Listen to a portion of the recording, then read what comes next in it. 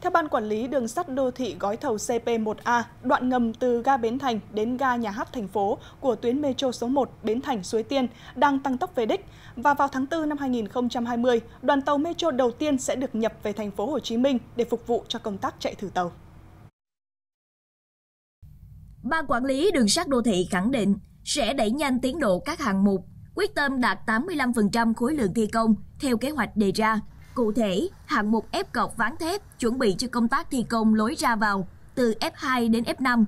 gia công và lắp đặt cốt thép sàn tường nhà ga Bến Thành, hầm đào hở Lê Lợi, thi công ván khuôn và đổ bê tông sàn tường nhà ga Bến Thành, hầm đào hở Lê Lợi và các hạng mục khác đang được triển khai đồng bộ. Đến nay, công tác xây dựng kết cấu cơ bản đã hoàn tất và công tác lắp đặt đường ray đạt 62%. Dự kiến, đoàn tàu metro đầu tiên của tuyến metro số 1 Bến Thành Suối Tiên sẽ cập cảng Việt Nam vào tháng 4 này.